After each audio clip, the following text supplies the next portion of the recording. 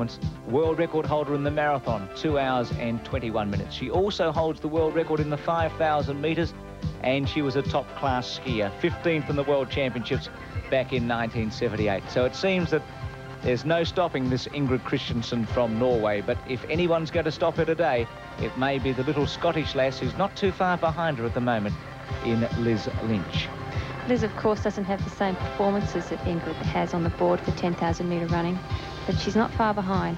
And speaking of not far behind, that's exactly what's happening in the men's race at the moment, with Adam Hoyle still leading at the three-mile mark from Australia. Edward Nabunome in second placing, who really has been the revelation of this race. Barrios was the revelation at last year's road circuit, but it's Nabunome's day today at the moment. And then a gap to that group of world-class athletes that include De Castella from Australia, world marathon champion, Musyoki from Kenya, Barrios from Mexico, and of course Nenow from the United States. It's a formidable group and I expect them to take some distance off these leaders at some stage. Yes, I think they will, but a good performance here from Edward will certainly make him more renowned um, in the world in general. In fact, I think at 18 years of age, he's running an absolute tremendous race. I mean, these are the best runners in this world, in the world, and Edward yet isn't a senior athlete. Well, his best time um, for 10 kilometres certainly won't be as fast as some of, the, some of the other athletes. They went through the 5 kilometre point, by the way, in about 14.25.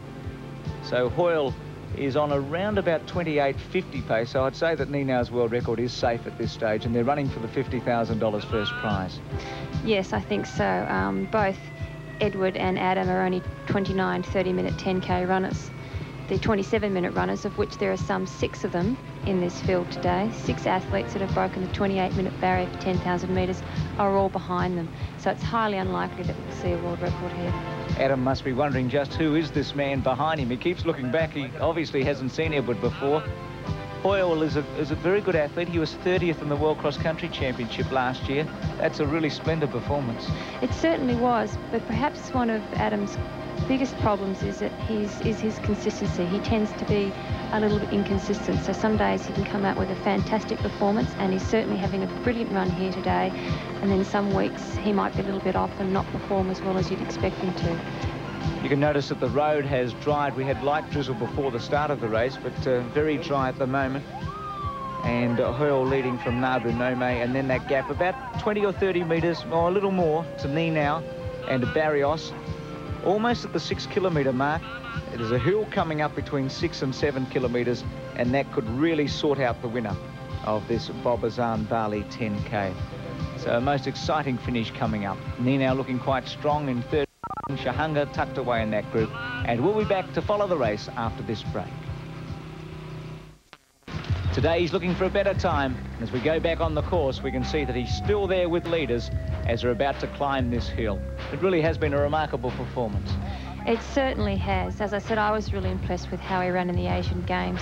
He ran really aggressively. He was only beaten on the last lap of that 10,000 metre race from a Korean athlete who just had an incredible kick, and Edward couldn't quite stay with him. But he's obviously going from strength to strength. And even though it looks like Mark has brought that second group up and these athletes are just about to be passed, it's really to Edward's credit that he's, he's run this well into the race. This is a tough part of the race too, Galen. It's up the hill with Hoyle, Nabunome, and now Nenow and Akutsu, also from Japan, are tackling strongly. It's going to be critical now for Hoyle and uh, for Edward to see if they can stay in touch. I think they'll find it difficult. It is fairly warm. I don't think um, Adam really made big enough allowances for the weather, and I think he's gone out perhaps a little bit too hard. In the warmer climate, it's really important to drink plenty, wear loose-fitting clothing, and to start out moderately when you're racing. And I think maybe he went out a little bit too hard early on. So it's Nenow leading after four miles. Akutsu from Japan in second placing. Then Nabunome. Gregorek's moved into fourth placing. Hoyle just behind him. Shahanga and Barrios still running a, a very sedate race at the moment. And then a gap to Lloyd and De Castella, the two Australians. Barrios has been a little bit of a surprise because he really made his mark in the United States with some strong, aggressive front running. Well, he did originally, Bruce. When he was at, at college, he was a junior athlete in uh, Texas. He used to always run from the front and run aggressively, but he said that he, he was always beaten. So he decided in, in his latter years that he'd sit back behind and he would wait until the last mile or two and make a kick and come home strongly. And that's basically how he won all of his races last year in the US. Well, Ingrid Kristiansen wins her races from the front. She's one of the great front runners in the history of athletics, and at the moment she is leading from Liz Lynch, the men around Ingrid not giving her a lot of room at the moment, and Liz is getting a bit of a break here. At least she's having a, a, nice, clear run and can see Ingrid in her sights. I don't think the men around her are helping Ingrid at all. In fact, it's probably impeding her progress. It's not as if she's got a few runners that are slightly ahead of her and perhaps pulling her through to a faster time. They're actually running just beside her and just behind her, so they're probably concerned with wanting to beat the first woman. They've just come into an aid station here. You can see both Ingrid and Elizabeth have grabbed water. Neither of them appear to be drinking it, but they're pouring it over their heads. It really helps with aid, aid you know, of cooling the mechanisms and everything else. Um, that might be why Liz dropped back that 10 or 15 metres so that she could get a clear run into the drink station. Aid stations, are they unusual in 10 kilometre races? Well, they are, Bruce, but I think uh, it was really important to have a couple of aid stations in this race. And in fact, the athletes got together collectively only yesterday and approached the race organising committee and said, um, it is warm here in Bali. We think it's important that we do have at least one or two aid stations on the course. Not so much for themselves as elite athletes, but there are also 1,200 Indonesian and locals competing in this event. And 10,000 metres in warmer weather um, could cause dehydrating um, problems with some of those people in that mass participation field. So consequently, the race organisers listened to the wishes of the athletes and they've included a couple of aid stations on the course. And I think we should point out that in that mass participation race is one of the world's greatest runners, Alberto Salazar, who's decided to take it easy today and be part of the fun of the race. It's really nice to see Alberto running. He's had some problems with his foot since he's been here and he's been limping um, and it really was out of the question for him to race hard against these elite athletes. But rather than not compete at all, he decided he'd join the mass field. So a terrific struggle coming up in both the men and women's race. The women running for $30,000 first prize, the men for $50,000 and Ingrid Kristiansen leading Liz Lynch by about 15 metres. In the men, of course, Mark Nenow has now taken up the lead. But Kristiansen has a real fight on her hands because this girl from Scotland is in fine form and has the world record holder in her sights. Timber from the jungle. Hasan Bali 10K the top people in the world are here. Barrios Musyoki, two of the top three in the men, and Kristiansen and Cooksey, two of the top three in the women's world rankings. A little bit of a surprise in that Cooksey hasn't been seen so far, but now certainly has. He's leading with Akutsu, and they've got a bit of a break from Barrios. Well, Nenow, of course, is the fastest runner in the world on the roads with a time of 27 minutes and 22 seconds and one of the fastest men on the track in the world. He really is a remarkable athlete, is Mark Nenow. Galen earlier talked about his nocturnal habits of having his second run for the day at around about midnight. Well, he's not running at midnight at the moment, but he's running particularly well as he always does. Mark Nenow, 29 years of age. He won the Van Damme Classic in an American track record of 27 minutes 20. Back in 1984, he set the world record for 10 kilometres, 27 minutes 22 on the road and he was second in the American Championship in a time of over 28 minutes. He really is one of the top 10 kilometre runners in the world, and he's proving it once again today in Bali. That's right. He's not only a talented runner, Bruce, he's also an exceptional musician. In fact, one of his favourite pastimes, he was telling me, used to be to close himself in the bathroom of, with a couple of his university friends and jam away on his guitar. Said the acoustics were great. Well, I wonder if Liz Lynch or Ingrid Kristiansen have tried that. I think the performance of these two girls has been outstanding when you remember that Marty Cooksey hasn't been seen so far and with the seven kilometre mark. Lorraine Moller obviously is out of the picture and Lynn Williams as well. So it's really come down to two girls. Yes, it has. Ingrid is especially a very tough competitor. The Norwegian winters are very, very harsh and there's often a lot of snow on the ground. So because she can't get outside and run, she runs hours and hours and hours a week on a treadmill. That must be tough mentally. It certainly must be, and I think that perhaps it's, oh, she got a bit of a bump there from one of the male competitors. They're not really giving her much room, are they? No, they're not. It's, uh, it's a bit, bit of a tight squeeze. It's really not quite fair on her. In fact, it, it's not surprising that Elizabeth Lynch is just holding back that extra five to 10 metres so that she's got some room to run on her own.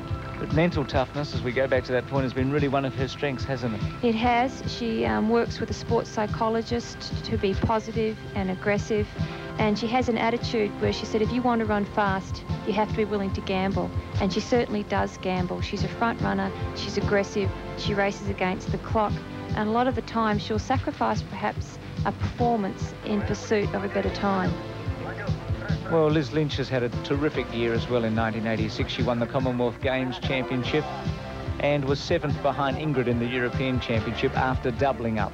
So let's leave the women for just a moment and go back to the men and we can see from high above them that it's still the two leaders, Nenow and Akutsu, Shahanga and Barrios and Gregorek in the top five. So Nenow leading. The gap between the first two and the next two runners about 40 or 50 metres. So it is significant, but there's still a chance for Barrios to come through at this stage, or Shahanga and Gregorek. So let's just have a look and see where the runners have been and where they're going. As we said earlier, there is a rise in the course between six and seven kilometres. That's behind them now, and that's where Nenow made his break on the two leaders. Akutsu went with him, but he may be paying for that at the moment. It's mainly downhill from this way in, and they finish at the Nusa Dua Hotel Complex, where a big crowd will be greeting these runners. Really is a fabulous course with the palm trees all around. The crowds have been very good. The terrain is excellent, and all in all, I think given the right conditions, we can have some very fast running here in Bali. But here, Nenow seems to be making a break. He certainly is. Akutsu's looking tired. He's kind of tightened up in the upper body and the shoulders, and it looks like he's starting to drop. There's essentially five runners left in this race, and of course, there's only prize money down to third place. So even if Nenow does make a break and ends up running on his own, the next four athletes are certainly going to be striving to try and get some of that good prize money. So Mark Nenow leading. He can see the $50,000 in his sights. Let's take a break some of the great sights of Indonesia and welcome back to the Bob Hasan Bali 10K. And as we said earlier, it really is a top-class field. Barrios and Musyoki, the top two runners in the world last year. Ingrid Kristiansen and Marty Cooksey, all in this race. But Mark Nenow looks to have made the break now. Akutsu from Japan in second placing, and he's about to be passed by Barrios and also Shahanga. But Nenow, who last year broke 27 minutes 30 twice on the track, that's quite remarkable has a big lead. Shahanga looks to have gone past Akutsu uh, with Barrios in fourth placing. And those runners, of course, are running for big prize money. But Nenow has a big lead. Well, Nenow may have a large lead in the men's field, but Ingrid's really struggling to get any distance on Elizabeth Lynch. Um, I'm not quite sure what the women are running here at this particular point. They could still have a very good chance of the world record. Ingrid, of course, has run 30 minutes and 13 seconds on the track, but the world road record stands at 31 minutes and 32 seconds. So even in the warmer climate here in Bali, it's a very real possibility that these women could put in a world record performance here today. But who does it, we have yet to see, because Elizabeth Lynch, Lynch is definitely in there with a very real chance. Well, after eight kilometres, I would have expected Ingrid to have a bigger lead, that is for sure. And Liz is right there with her. There's very little between them as they're taking some aid now at the five mile point. Male runners still around Ingrid, but Lynch has really been a surprise packet, staying with Kristiansen all the way. Okay, let's go back to Nenow, who has a big break at the uh, nine kilometre point. He's looking at his watch, you noticed just then, so he's obviously concerned with the time, and he's also turning around and having a look behind. So he's perhaps in looking at his watch realised that they're not on world record pace. He's not going for a world record. Well, Rob uh, De Castella, who lost contact fairly early in the race, he'll just be looking for now just a good, solid performance. I think so, Bruce. He's not going to be disappointed. He knew that he wasn't in 100% form when he came to Bali. Um, he'll always give it his best. He always does. And two women giving their best at the moment are Ingrid Kristiansen and Elizabeth Lynch. They're staging a terrific struggle for the $30,000 first prize, and who knows, maybe a $150,000 bonus for breaking Ingrid's world record. Cooksey and Moller and also Williams, as I said earlier, haven't been seen in the picture, and Liz Welsh as well. This race has been dominated all the way by Ingrid and also by Liz Lynch. And Liz still looks extremely relaxed. She hasn't tightened up at all. She's very, very fluent. In fact, she's got a beautiful style. She's a very slight runner. Ingrid also is fairly slim, but a little bit stronger and broader across the shoulders. But if you look at Liz's arm carriage, she's holding her arms low. She's running very rhythmically and very smoothly. She doesn't look at all stressed. She looks rather comfortable and she looks as if um, she's quite, quite happy to be tucked in there just behind Ingrid. Let's have a look, Aileen, at some of Liz's best performances. She won a number of road races in America in early 1986, but made her big breakthrough at the Commonwealth Games, where she defeated the former world record holder at 5,000 metres, Anne Audain, and went under 32 minutes for the first time. Earlier, she'd won the UK Championship, was seventh at the European Championship, but in that championship, she had already run in the 3,000 metres. So an athlete of the highest quality and somebody who looks to be ready for a major breakthrough in 1987. Well, the way she's running here today, Bruce, she could very well go under the 32-minute barrier for the second time because she's running really strongly. In fact, she's slightly closed that 10-metre gap that Ingrid had on her for the last three or four kilometres. And Ingrid looks um, as if she's getting a little tired now. In fact, she's pumping her arms rather vigorously here. She's constantly glancing over her shoulder to see where Elizabeth is, so she's obviously concerned about her. You think it's been an advantage or a disadvantage? Kristiansen now is trying to put some distance between herself and Lynch. An advantage or a disadvantage for Kristiansen to have led all the way? Um, I think Ingrid is happy as a front runner. Um, I think it's more an advantage for Elizabeth to be a bit of a dark horse and to be able to have Ingrid in her sights, though. This really has Ingrid in her sights at the moment. A great finish coming back. More after this break. Road race is not only one of the best, it's the richest race. The men are running for $50,000 first prize, a bonus of $200,000 if they can break this man's world record, and the women $30,000 first prize and $150,000 bonus. Galen, I don't think Mark Nenow is going to break the record, but I think he has got the $50,000 in the purse. I don't think he's at all worried about that world record right now. He keeps looking over his shoulders. He's concerned at that Barrios and that finishing kick that, that, that the Mexican has. So Nenow getting very close to the line. The clock starting to tick over towards 28 minutes and 30 seconds. A terrific battle between Barrios and Shahanga for second and third and Akutsu behind them. We can see the Barrios has now taken over from Shahanga. It's really just a sprint home now. It certainly is. Mark's, uh, I think, got a big enough lead there that he's going to cross the finish line first. But Arturo, he keeps looking over his shoulder to see where Shahanga is. So everybody's concerned about staying in front of the next runner. So Nenow crosses the tape about 28 minutes 37. That's approximate. Uh, Barrios comes through in second placing, so that's $20,000 for Arturo. Uh, third, Shahanga, that's a really solid performance. A good prize money for Gidamis as well of $10,000. Akutsu about to finish, so he's done really well. He went with me now, of course, when they took over from Hoyle earlier on, and Gregorek coming through for fifth, so that's a solid performance by him. It certainly is, but what is really impressive is Eduardo's performance. He's coming into sixth place here. He's only 18 years of age. He's beaten some of the best runners in the world. It's absolutely incredible. And Adam Hoyle, we've also seen as a, as a fairly young runner. He's just back there, just behind Eduardo in seventh.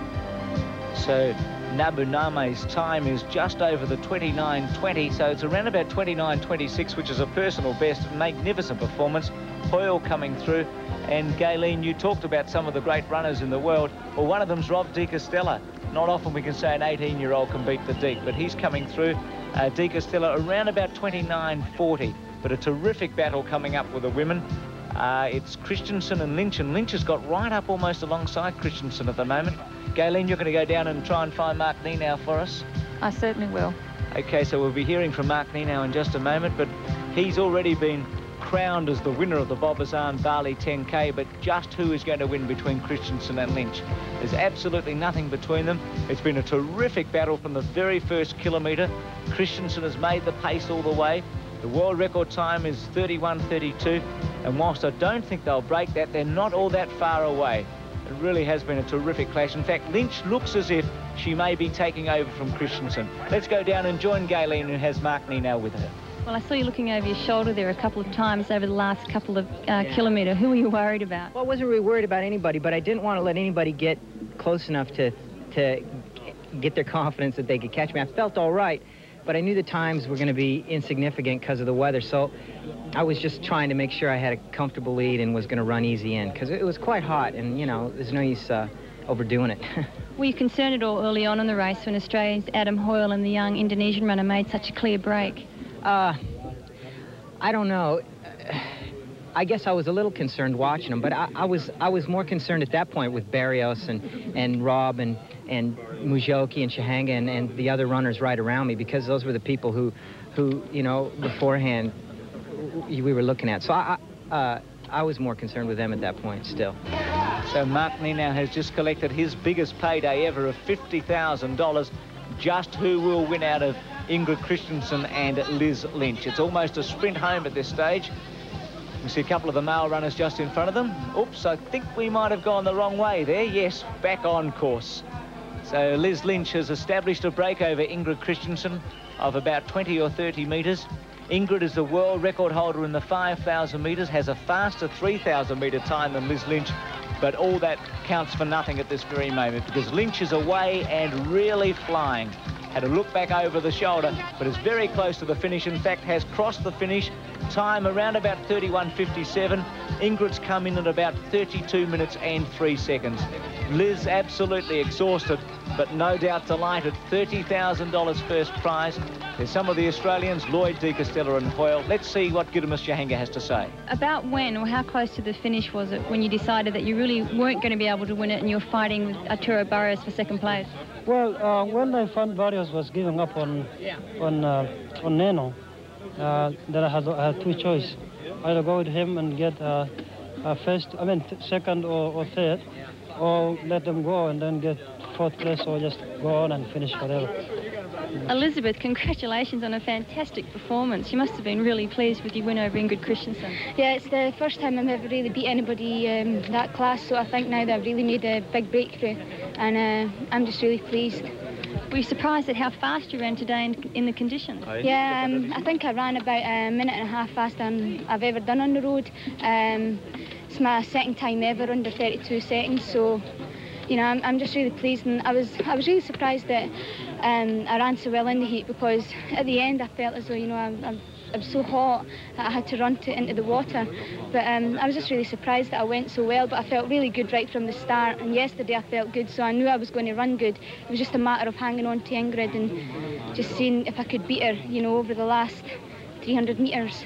I knew that the list was uh, in good shape and she has done a lot of good races in Europe the last uh, month. So I was afraid of her, but I tried to don't think uh, about uh, the good shape she was in and try to do my own race. Were you pleased with the time? It was still a very, very good time in these conditions. Yes, uh, I'm not sure of the time, but it was a little bit over 32 minutes maybe, and uh, it's not bad. So coming races after this, so I will try to, to keep on training and be better shape later. Galene, thanks for the interviews. They've been absolutely excellent. Let's check the results. Mark now $50,000 richer, first in 28 minutes, 37.15 seconds. Arturo Barrios second, Gidamis Shahanga third. In the women's race, Liz Lynch, 31 minutes, 57.65 seconds, $30,000. Then Kristiansen and third, Marty Cooksey. It's been a wonderful race, the Bob Hasan Bali 10K. It's bye-bye from beautiful Bali.